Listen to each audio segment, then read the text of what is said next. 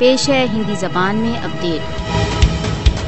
मोदी के शासन में भारत एक फासिस्टवादी राज्य बन चुका है। मोदी का भारत मुसलमानों तथा अन्य अल्पसंख्यकों के साथ निरंतर द्वेषपूर्ण होता जा रहा है। मोदी शासन भारत द्वारा अवैध रूप से अधिकृत जम्मू कश्मीर तथा भारत में मुसलमानों को दबाने के लिए कठोर नीतियाँ अपना रहा है। आरएसएस समर्थित भारतीय शासन विरोध को मौन कर रहा है तथा बलपूर्वक हिंदुत्व विचारधारा थोप रहा है। मोदी शासन विरोध करने वालों को भयभीत करने के लिए अपने पड़ताली संगठनों का दुरुपयोग उपयोग कर रहा है।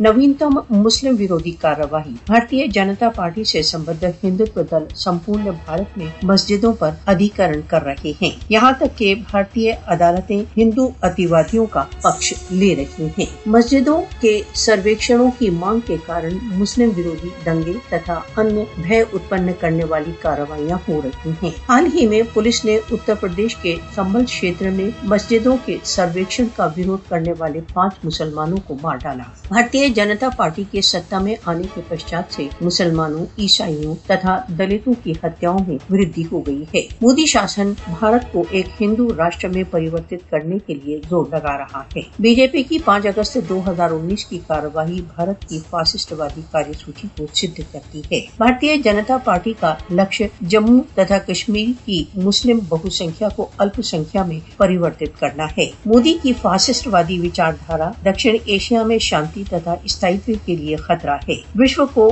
भारत को एक फासिस्टवादी राज्य के रूप में मान्यता देना चाहिए। अंतर्राष्ट्रीय समुदाय को भारत तथा भारत द्वारा अवैध रूप से अधिकृत जम्मू कश्मीर में हिंदुत्व फासिस्टवाद का विरोध करना चाहिए। मोदी की फासिस्टवादी नीति का विरोध करने के लिए सार्वभौमिक सहयोग की आवश्यकता है।